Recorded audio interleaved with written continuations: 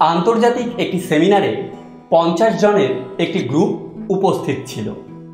বক্তা হঠাৎ তার বক্তৃতা থামিয়ে সবাইকে একটি করে বেলুন এবং একটি করে মার্কার পেন দিয়ে নিজ নিজ বেলুনের ওপর নাম লিখতে বললেন।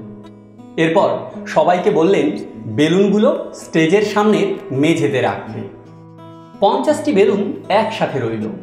বক্তা সবাইকে বললেন, তিন মিনিট সময় দিলাম। যে যার নিজের বেলুনটি খুঁজে বের করুন। সঙ্গে সঙ্গে হুড়োহুড়ি লেগে গেল। কিন্তু তিন মিনিট সময়ের মধ্যে কেউই তার নিজের বেলুনটি খুঁজে পেলেন না। এরপর বক্তা সবাইকে থামিয়ে দিয়ে বললেন, আপনারা এবার নিজের ইচ্ছে মতো বেলুন হাতে নিন।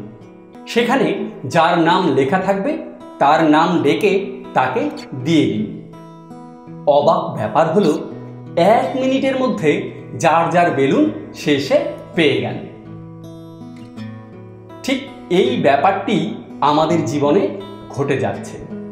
আমরা প্রত্যেকেই চারপাশে নিজের সুখ খুঁজে বেড়াচ্ছি, কিন্তু ঠিক কোথায় সুখ তা কেউই জানি না। আমাদের সুখ আসলে নিহিত আছে অন্যের সুখের মধ্যে। অন্যদেরকে তাদের সুখ দিয়ে দিন। আপনি আপনার নিজের সুখ ঠিক খুঁজে পেয়ে যাবেন। নমস্কার।